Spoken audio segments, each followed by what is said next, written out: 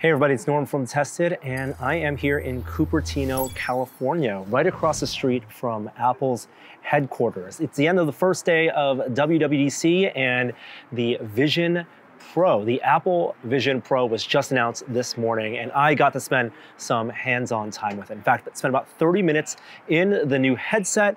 Uh, unfortunately, they did not allow any uh, videography, recording of any kind, no photos during this demo, so I'm gonna have to paint a word picture with you, go down some of the things that caught my eye, uh, some of the experiences I tried out, and my thoughts uh, after processing that experience for this half day. Still plenty of more questions to come. This thing isn't going to be available till early next year. Uh, let's get it out of the way. It's $3,500. So definitely not for a mainstream consumer audience. I'm not even sure yet who this is exactly for, whether it's the enterprise markets, whether it's developers or folks who just have the money they want to spend, uh, but they're calling this their most advanced personal computer yet. Uh, and they've definitely packed a ton of technology into it. So let's first start off by talking about the headset and what's built into it. Uh, some things that we kind of expected were going to be high resolution panels. So they didn't give out resolution specs, uh, but they did say 23 million pixels across through two micro OLED panels. And if we do some math, that's going to be more pixels, higher pixel density than even the Bigscreen Beyond, certainly higher than the Meta Quest Pro and the Quest 2, or maybe even the probably the Quest 3 that's coming out later this year, uh, even surpassing that of the Varjo Aero uh, high resolution VR displays. We do a little bit of math, divide 23 million by two, so 11 and a half million per eye. And assuming they're using a rough you know, 4K panel, so 3840 pixels wide, then I'm gonna say it's probably a 3840 by 3000 pixel panel per eye. And so already much higher than the, like using Bigscreen Beyond an example, the 2560 by 2560 per eye there. Uh, custom optics, they're talking about a three element lens, and I'll talk about my experience uh, with that and we get to the, the demos. Um, and of course, an array of cameras. So outward facing cameras for SLAM, that's detecting the world around you, detecting your hands, the gestures you'll be making, as well as eye tracking and cameras to detect your facial uh, gestures. So kind of like what we saw on the Meta Quest Pro, it's both outward and inward facing cameras to have augmented reality as well as capture your expressions uh, because avatars are gonna be a big thing. I'm sorry, personas using Apple's lingo and parlance. Um, the big surprising thing to me though was there's also going to be a OLED panel on the outside that will represent your eyes and your kind of your expressions to the outside world. They're not giving out specs again about this panel, but they did say it's behind a lenticular screen. And so while it's not exactly a light field, we can think of it as a multi-view display. So uh, while it'll have a rendered persona, an avatar of your eyes, tracking your eyes as you look around, if someone comes up to you while you're wearing the Vision Pro, your eyes, your image of your eyes will fade in, and whether they're coming from you the left or right, they'll be able to see kind of a almost three-dimensional view uh, of where you're looking at so you can have conversations with them. They're also using ambient lighting to let people know kind of what the experiences are that you're using or to indicate that you're in a full immersed environment. Again, they're not using the phrase virtual reality. They're calling these immersive environments. If you're in VR, let's call it, uh, it'll be indicated as such with this kind of indicator on this display on the front the big curved piece of glass running on uh, two chips. So it's the M2 chip, the same thing that you'll find in the latest you know, MacBook Airs and uh, MacBook Pros, uh, as well as a new custom R1 chip, which is handling all the throughput, the I.O. We know with the, the AR headsets, especially those that use pass-through video, uh, they're going to need a ton of memory bandwidth, a ton of input uh, processing to do all that gesture calculation, uh, SLAM tracking of the world, eye tracking, all that stuff. And in this case, custom built to minimize the motion to photon latency. They want to have no latency but when you move and when you see things in the outside world to when you see it. And they're targeting a 12 millisecond latency, almost instantaneous. They didn't talk about refresh rate of the panel. Uh, based on my demo experience, I think it feels like a 90 hertz panel. And as I was using it and moving my head around, I did not notice any significant judder or smearing. And so they've definitely got the low persistent attributes uh, on these panels as well. Uh, the headset ergonomically presses to your face through a custom facial interface, and there are going to be different sizes and models of these.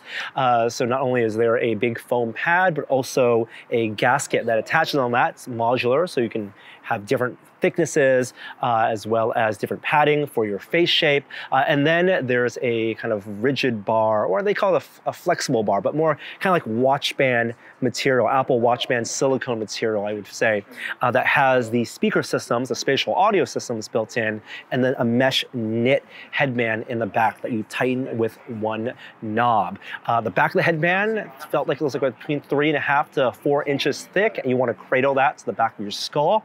And in the demo I use, I actually also use a top strap. So while they didn't show the top strap in the introductory video, there is a top strap uh, that I think will be bundled in that would use for a better fit.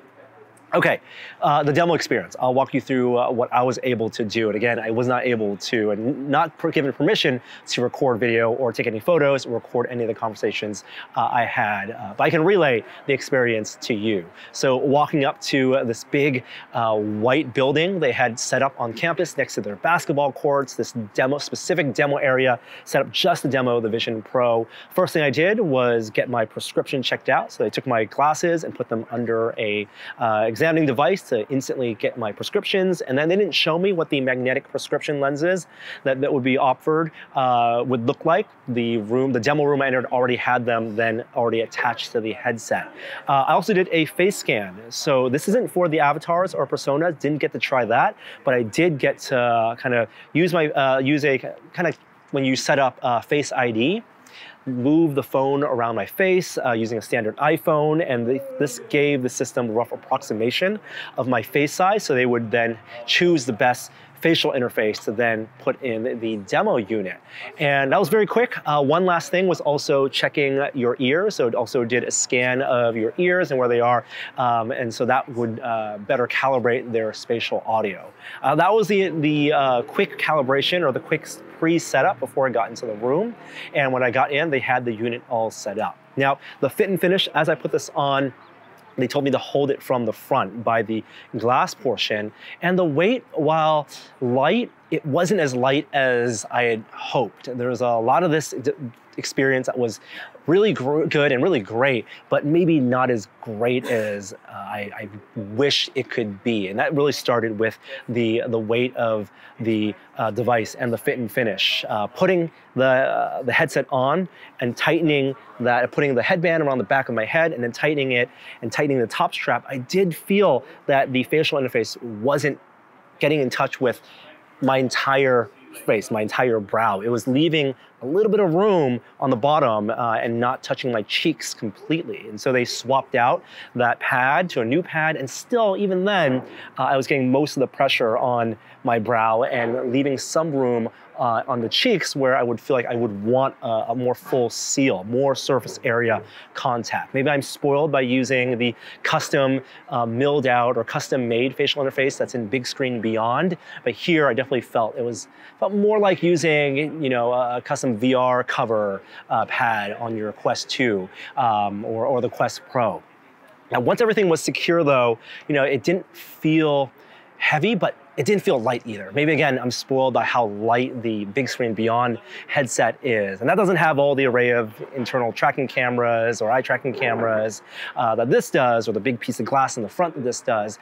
Uh, but I did feel over the course of the 30 minutes, the headset drooping down slowly, and I did have to push it up occasionally. So I think that fit is gonna be super important for comfort for long periods of use. As you've probably seen now, this thing runs off a battery that you have tethered and connected to the side. And so on on the left side on the temple, there is a uh, disc. It's not like a quick mag- MagSafe connector, so it wasn't easy to disconnect. Um, it didn't show me how to disconnect it either, but it had a knit cord that went to a kind of elongated phone-shaped battery, uh, which gives this unit two hours of battery life. They didn't give any indication either whether you could hot swap the batteries, uh, but they did say that you could plug it into mains power, shore power to run it indefinitely if you don't want to plug it into a battery and you're just using it at your desk. Um, so once the whole thing was set up, I ran through some additional calibration. This was eye tracking calibration, very similar to some of the eye tracking calibration I've used in like the Quest Pro. You look at a couple of dots that are moving, and then I did some hand calibration as well. I put my hands in front of my face until uh, I saw kind of a ghostly outline of my hands. And one of the really cool things that this does well is it does occlusion for AR. So when the experience boots up, when the home screen boots up, it's not a full screen home screen. It's icons in a pass-through environment. This is not a VR device with pass-through optional. This is an AR device where the VR slash immersive environments are secondary to it. And they really wanted to emphasize that pass-through was the priority. So with uh, the two people giving me the demo in the room, I was able to look them directly and chat with them directly. I was able to look at my watch and my phone and read things. And in terms of the, pass-through image quality, it was good. I would say it's like the lower end of HD. One of the questions I got, does it look like 4K? Does it look like, and it's, you can't really equate it to that because it fills your entire you know, field of view, this pass through, but um, it definitely wasn't crisp at the edges. Uh, so it had the kind of the kind of smudgy artifacts that you might get from you know zooming into a, a cell phone camera. Um, it wasn't grainy, uh, but it had kind of like the post-processing smoothing out effects. Details all there. It, I just wouldn't call it like passable to the real world. It wasn't like a Retina pass-through, which I know probably isn't possible right now with those outward facing cameras. The room was also very evenly lit, so couldn't get any sense of its HDR capabilities, the exposure changes. It wasn't like I was gonna be looking out into the sun out a window as I've done with past demos. It was a very kind of evenly bland lit room, which is probably on purpose, although this is a headset that I'm told uh, they want people not only to be using in the house, in the office, in the living room, but kind of in the world, on airplanes, walking down the street, because it will do that tracking, the SLAM tracking, the room tracking automatically. So no part of this calibration process, this onboarding process, that I have to go kind of map out my room, that I have to do what, you know, draw a guardian or tell it where the walls are or do a, a look around. It was all doing that automatically in the background, and that is by design. Their experience is they want you to be able to walk into new environments, new rooms, and it will kind of automatically know, then figure out where the sofas and couches and, and walls are and surfaces are, and and and and then project the reproject the uh, the the pass-through image on top of that to get real stereo and real depth there. Uh, the hand occlusion I thought was really well done. I put my hand over icons and perfectly cover the icons. And even when I was loading in some uh, the virtual environments, the full immersive environments, using that digital crown on the top right, uh, I would be able to see my hands and my arms as well. They wanted that to be a priority. There are two buttons on the top of the headset. One is on the right side, the digital crown, which again you rotate to fade in and out of immersive environments, and you tap it to uh, go back to your home screen. You could hold and tap to realign your center. Uh, and then uh, the second button actually is for taking photos and capturing these immersive photos and videos. Uh, basically VR 180 moments that you can then relive from the first person field of view. I'm sorry, I didn't even get to the field of view. I saw another thing where I was maybe a little disappointed once I put the headset on. I'm not sure because the eye relief uh, was accentuated because I put the prescription lenses or prescription lenses in there, but definitely felt like a little bit of tunnel vision. It wasn't the ultra wide field of view. It wasn't wider than what you'd find in the Valve Index uh, when the, the headsets push up to you. So a little bit disappointed there. You're still gonna feel like you're wearing you know, snorkel vision, but clarity across the lens was there. You know, I could peer all the way across the entire field of view uh, and when I reached that sweet spot, and the eye box is pretty big as well. No, um, there's no angular adjustment, just lateral adjustment to get it focus. And uh, moving, even when the headset, you know, slipped down a couple of millimeters, uh, it wasn't like the sweet spot was gone and the whole thing got blurry and, you know, chromatic aberration everywhere. It had a pretty generous sweet spot uh, and eye box, uh, which is impressive for a three element lens system.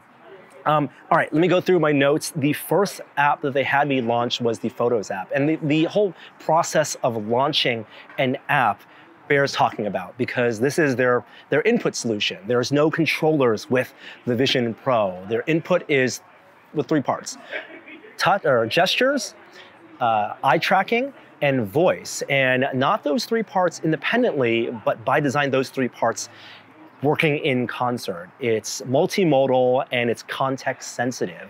And uh, one of the first things they told me is don't like ray trace, like move my hand and try to point at things I would do with existing headsets. Just relax my hand and tap my fingers together comfortably. You know, one of the things that uh, I've noticed with hand tracking demos on the Meta headsets is ray casting, while effective and working as a laser pointer and pointing at things, it can be fatiguing over time. It's not a thing I really want to do. And the, the natural resting pose of my wrist and my hands is way more comfortable. And that's what this headset, the Vision Pro, seems to be really good at, where I could just put my hand on my knee and literally just tap my fingers together and have them different orientations, and it would be able to see that and recognize that combined with my gaze tracking, looking at the icons and the menus and the sliders and the things to change the UI elements.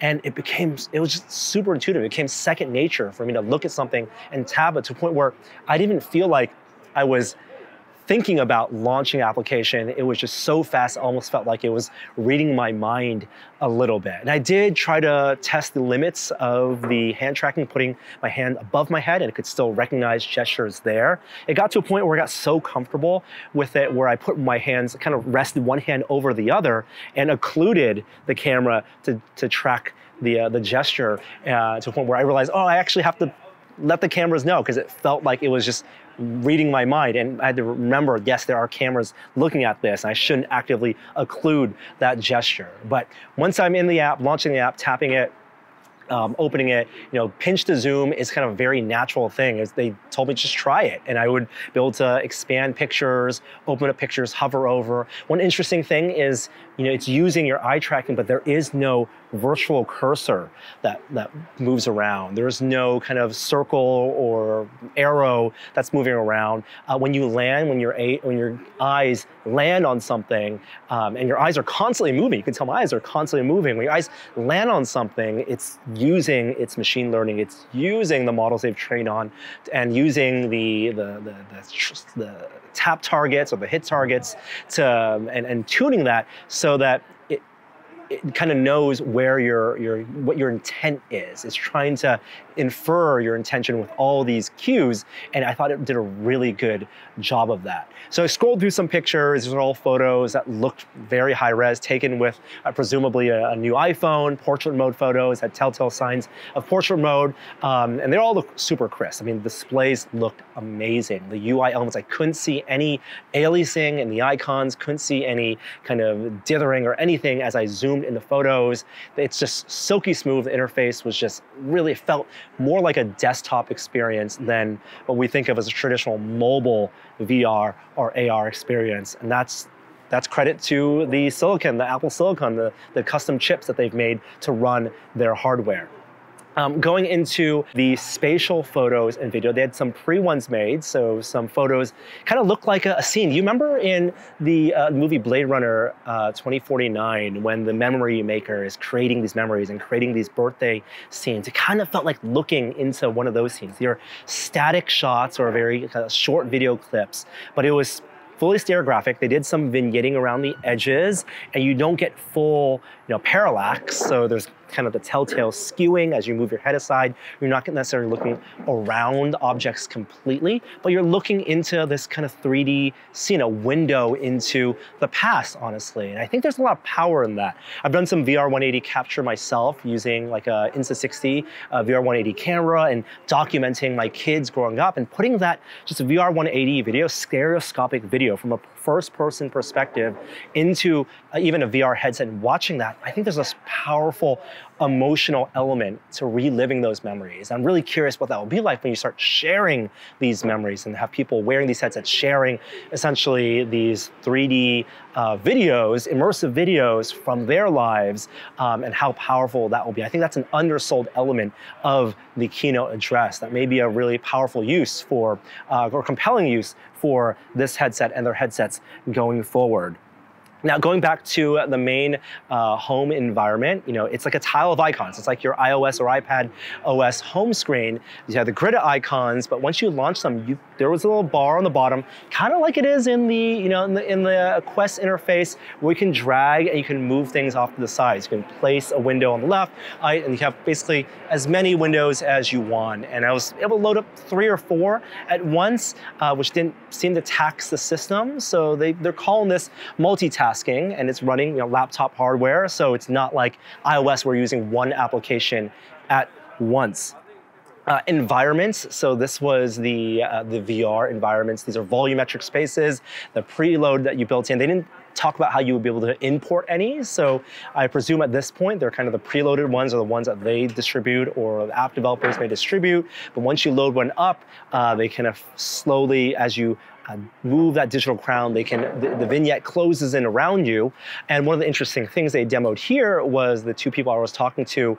Uh, if I looked at them, they would slowly fade in into the environment. And I didn't know if this was uh, context dependent, where uh, they were maybe proximity based, they were getting closer to me, and so they were fading through the environment, or it was based on using their voice and, and, and hearing someone talking to you. But no, it's actually the system, the cameras will recognize that if you turn and a person is in your peripheral or in your field of view, a real life person will recognize that that is a person and they should be faded in, uh, which seems like a, a, smart way to not have you disconnected from the real world. Uh, and at the same time, uh, presumably the, your persona avatar will then surface to them as well, so you can communicate.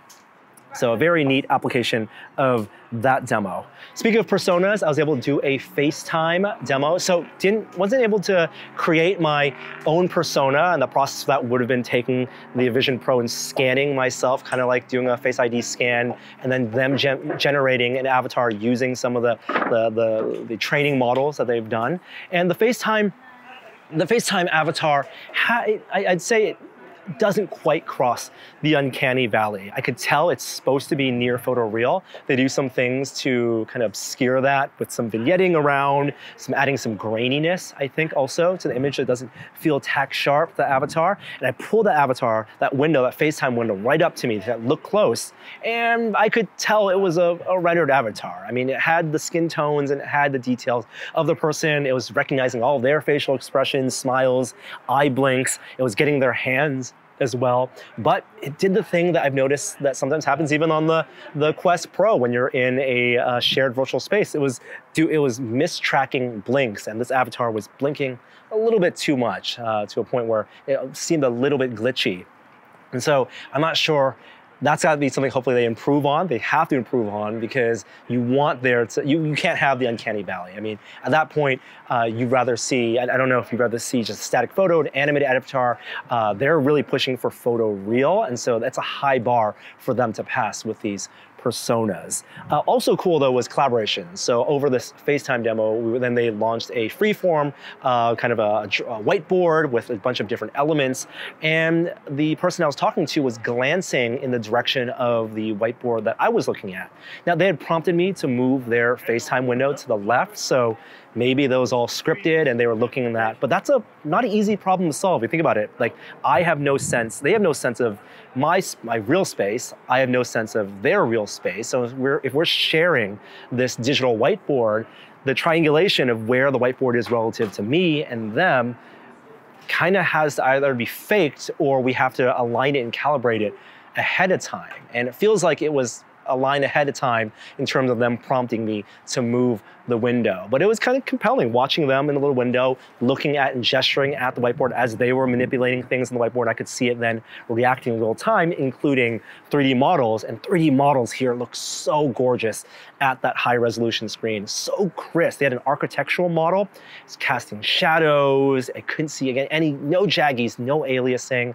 I could really see this being useful for shared CAD design, you know, enterprise design. As we've heard about VR headsets and AR headsets headsets the potential of them, you know, Varjo does this to, to be shared, shared CAD design, load up a 3D model of an engine, of a car.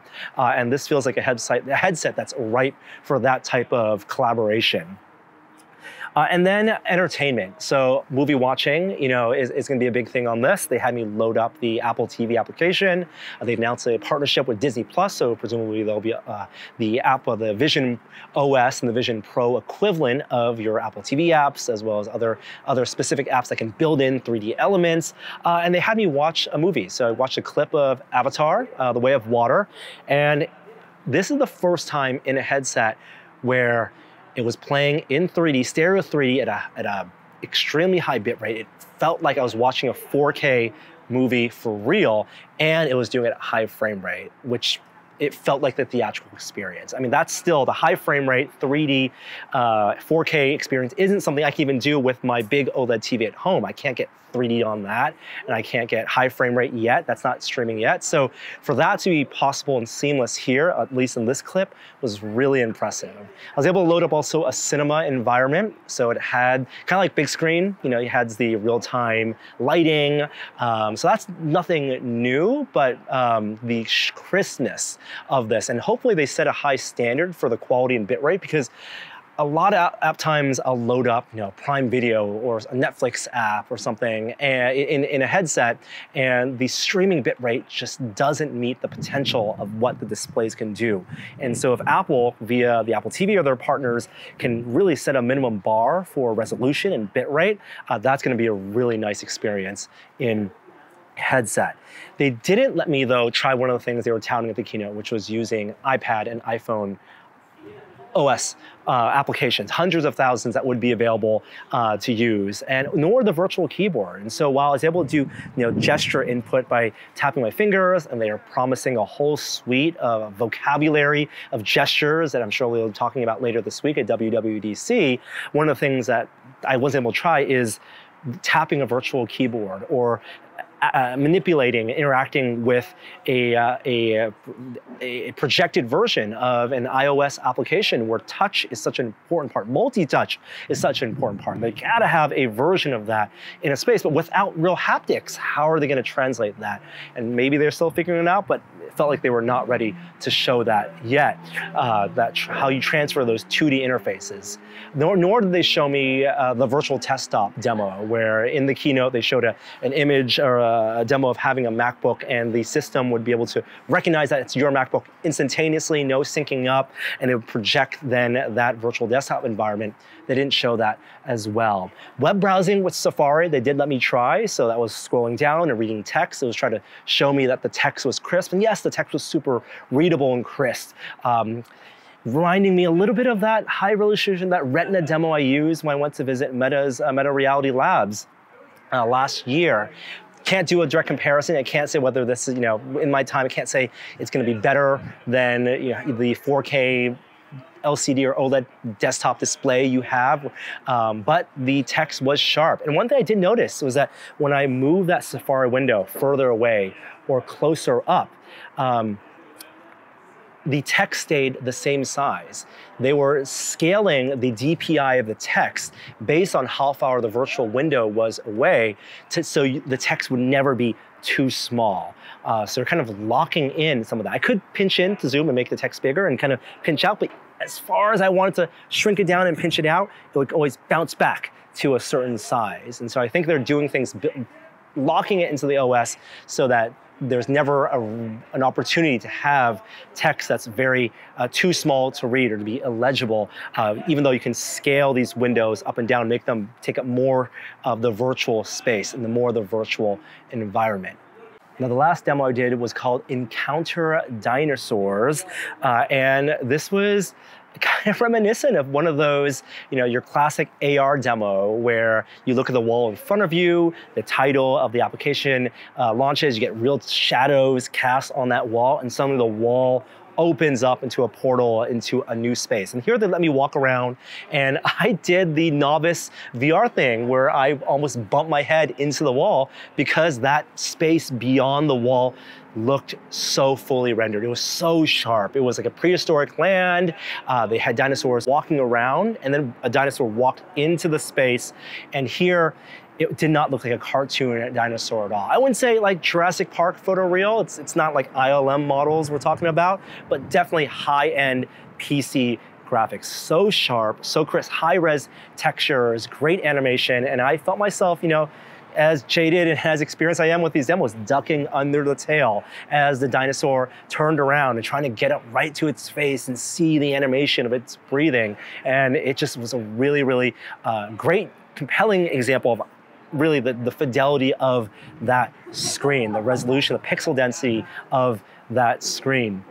Um, again, not having to do any type of calibration for the room. They didn't give me any uh, applications where I would be projecting you know, holograms on tabletop surfaces or anything like that, uh, but I was able to comfortably walk around the space, didn't get any kind of geometric distortion, rewarping, artifacts of reprojection that you've seen certainly on the Quest 2 and the Meta Quest Pro through their pass-through. Everything just felt very clear, very natural, and that hand occlusion was just darn near perfect.